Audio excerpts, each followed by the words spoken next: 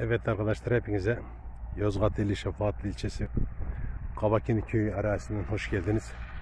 Yozgat'ta buğbat ekimi başladı. Buğday ekimi, buğdaylar toprakla buluşuyor bir gün itibariyle. Aylardan, ekim günlerden, salı günü, bugün salı, çarşamba pardon özür dilerim, çarşamba. Evet, buğday ekim hasadı başladı.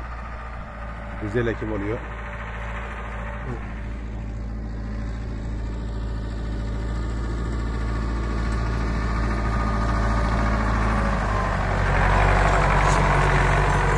Evet devam ediyor an itibariyle.